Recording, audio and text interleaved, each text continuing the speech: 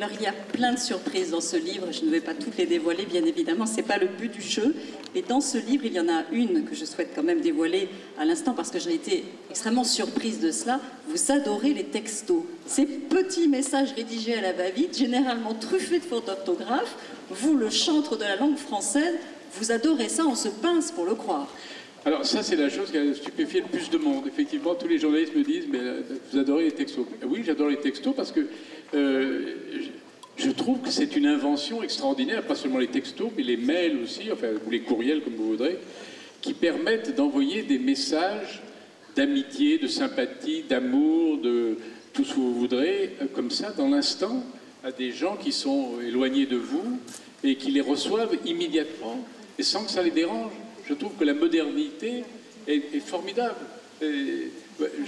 Moi, je me rappelle ma jeunesse, quand on voulait envoyer un mot de sympathie, d'amour, d'amitié, il fallait lettre à la poste, euh, la mettre à la poste, elle, était reçue 48 heures après. Maintenant, vous envoyez un mot, vous n'êtes pas obligé de faire des fautes d'orthographe. Hein.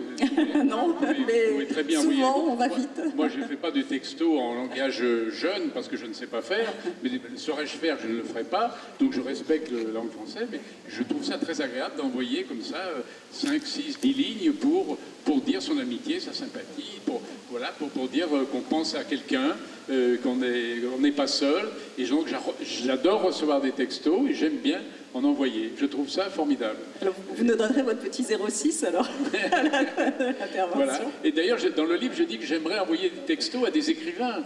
J'aimerais envoyer des textos à San Antonio qui m'enverrait certainement des textos formidablement drôles, euh, des, textos à, je ne sais pas, Camus, à Colette, par exemple, à Colette ou à Jean Giono. À Colette, certainement, elle m'enverrait des textos euh, délicieux. Je, regrette beaucoup de ne pas avoir le numéro, euh, de télé, de, numéro de portable de Colette, par exemple. Alors on se retrouvera après l'émission et vous me donnerez votre Donnez-moi le Colette et je vous donnerai le mien. Si vous me donnez le Colette, je vous assure, je vous donne le mien. Alors là, vraiment. Ah oui, ça, ça, Et alors, donc, j'aime beaucoup cette modernité parce que c'est vrai que, le, par exemple, l'ordinateur, c'est euh, vous ai dit que j'écrivais à la main, mais évidemment, j'envoie toute ma correspondance, évidemment, par, euh, ordinateur, le, courrier.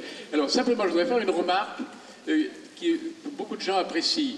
C'est que, on parlait des lettres d'amour. Bon, alors, si vous envoyez, si, vous voulez envoyer quelqu'un une lettre d'amour à quelqu'un, écrivez, l'écrivez-la à la main. Ça, l'écrivez-la à la main, au lieu de l'envoyer sur ordinateur. Pourquoi? Parce que quand vous allez employer le mot amour ou bien je t'aime, etc., si vous les écrivez à la main, les lettres seront unies. Si vous les tapez sur l'ordinateur, toutes les lettres seront séparées les unes des autres. C'est mauvais signe. Mauvais signe. Donc, continuez d'écrire vos lettres d'amour, non pas sur l'ordinateur, mais à la main. Eh ben, on va retenir ce, ce conseil. Alors c'est formidable parce que vous êtes vraiment aux deux extrémités de la langue française. Vous aimez les textos, mais vous êtes aussi quand même un puriste de la langue française. Et grâce à vous, certains mots qui seraient tombés dans l'oubli ont eu la vie sauve. Alors je vais vous laisser vous rafraîchir un petit peu, puis vous allez nous raconter l'histoire peut-être d'un mot ou deux que vous avez sauvé de l'oubli et rattrapé dans le dictionnaire. Il y a le mot euh, qu'on a employé tout à l'heure, j'ai employé, c'est le mot clampin. Le mot clampin qui n'a... Je ne sais pas que vous connaissez. Euh, vous connaissez pas le mot clampin? Un clampin, c'est quelqu'un qui va lentement, qui traîne derrière les autres. On dit, oh là là, quel clampin, celui-là. Bon, c'est un... Et, le, eh bien, le, il n'était pas dans le petit Larousse. Il n'était pas, euh, ce que je trouve incroyable.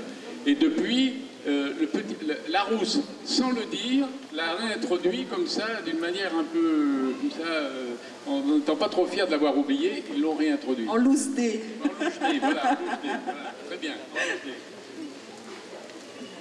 Aussi le mot fragonard. Ah, fragonard. Alors, fragonard, ça, c'est une. Ça, j'ai trouvé. C'est dans Colette. Euh, Colette, dont j'occupe le couvert à l'Académie Goncourt. Alors, je suis très fier, évidemment, de, manger aujourd'hui avec les, avec les couverts, avec la, fourchette, la cuillère, le, couvert à poisson de, Colette. Et Colette, un jour, je lisais ses articles qu'elle faisait paraître entre les deux guerres dans des journaux. Et à un moment, elle parlait d'une femme, et elle emploie ce mot, mais comme ça, au fil de la plume elle, la décrit, elle dit, c'est une femme qui, euh, on voit très bien, elle dit c'est une fragonarde. Alors, quand on connaît les tableaux de Fragonard, on voit très bien ce que c'est, quel genre de femme. C'est une femme avec des rondeurs, avec voluptueuse, sensuelle, etc. Donc une fragonarde. Et je trouve ce mot, alors il n'existe pas dans les dictionnaires, mais, mais ce mot mériterait d'entrer dans les dictionnaires.